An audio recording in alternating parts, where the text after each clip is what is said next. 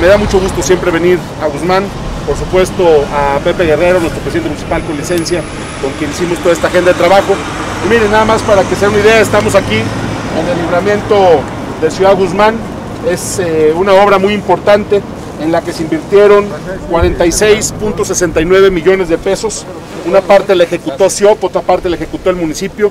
Tenemos todavía eh, algunos pendientes con esta obra, digo, quedó ya espectacular, los cuatro carriles, era una obra muy necesaria para la movilidad de este municipio tan importante de Jalisco. Eh, y evidentemente como cualquier proyecto nos enfrentamos a retos eh, que tenemos que ir resolviendo en el camino. Este proyecto de libramiento que incluye un tramo del ingreso de Zapotiltic y que cruza también la laguna en este otro tramo, tuvo un problema ahora con las lluvias porque el nivel de la laguna rebasó la rasante y es parte de las obras que tenemos presupuestadas eh, para atender con el fondo de emergencias, pero ya con este trabajo eh, estaríamos el próximo año programar dos puentes que se tienen que hacer para ampliar aquí adelante, pero con esto quedaría ya completo eh, todo este tramo de conectividad para librar la cabecera municipal de Ciudad Guzmán.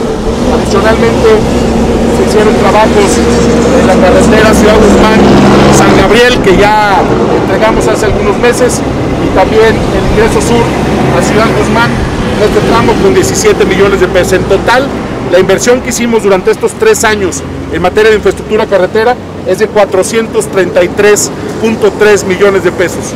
Obras muy importantes que están en proceso.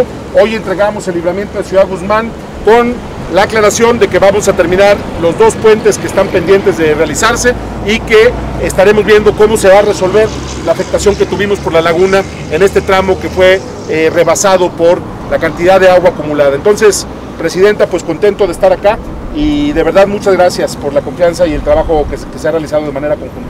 Es un gran gusto para Zapotlán el Grande que esta obra tan importante de cuatro carriles de libramiento sea ya una realidad. Sabemos que es una ciudad que nos visitan muchas personas, muchos vehículos de alrededor de De Tuspan. Somos una ciudad universitaria, tenemos muchos alumnos, tenemos cinco universidades, tenemos una gran fuente de empleo porque somos una ciudad agroalimentaria. Es una obra que se estuvo haciendo, ya lo explicó el gobernador, parte del gobierno del estado a través de SIOP y la segunda etapa 20 millones por parte del municipio que se estuvieron gestionando y realizando. Da mucho gusto que el gobernador haya cerrado su día aquí en Zapotlán el Grande sea bienvenido. Muchas gracias, presidente. Y la verdad, solamente para cerrar, Pepe, pues agradecerte porque hace eh, un par de años venimos aquí, esto que ven así, era un carril de ida y uno de vuelta. Y era una de las obras más importantes que se tenían que hacer para agilizar el tráfico en este municipio. Entonces, pues creo que todos contentos de ver cómo va eh, transformándose este entorno, esta realidad. Y gracias por todo el apoyo estos tres años. Eh, de corazón, amigo, muchas gracias. Muchas gracias a usted, gobernador. Gracias por todo el apoyo para soportar. Bueno, aprovechando la entrega del libramiento de Ciudad Guzmán, queremos presentar un proyecto que venimos trabajando eh, con la Contraloría del Estado y la Secretaría de Infraestructura y Obra Pública, que tiene que ver con eh, asegurarnos de la calidad de los trabajos que estamos haciendo en infraestructura carretera y la necesidad de tener un esquema diseñado con la Contraloría de Jalisco y con el uso de la tecnología para poder garantizar la calidad de los materiales con, que, con los que estamos reconstruyendo las carreteras de nuestro estado.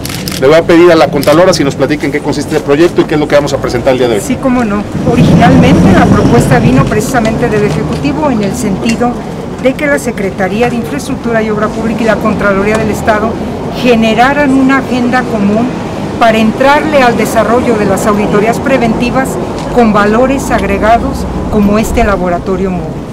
La idea es, y muy acercada a lo que pretende el señor gobernador, es reafirmar, reasegurar la calidad en la realización de las obras en todos los municipios de nuestro estado, siguiendo un programa de trabajo, desde luego, de la Contraloría del Estado, en que abonamos y apostamos por las auditorías de prevención de riesgos. Estamos haciendo muchísima infraestructura en Jalisco, pero además de hacer esa infraestructura queremos garantizar que sean obras de calidad, que duren muchos años y que puedan estar apegadas a todas las normas en materia de calidad de los materiales eh, para tratar, insisto, de seguir contribuyendo a, un ejercicio de rendición de cuentas y a una acción, diría, preventiva eh, de parte de la Contraloría para que eh, los trabajos que realicemos en Jalisco se hagan apegados a todas las normas de calidad.